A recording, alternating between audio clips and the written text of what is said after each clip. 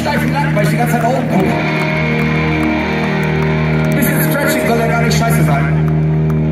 Hey! Ganz wichtig! Sollte hier jetzt irgendjemand hinfallen, bitte nicht aufheben, das ist eine Punkshow. Wir passen aufeinander auf, okay? Und ich finde, du und du, ihr beiden seid heute in Doppelspitze.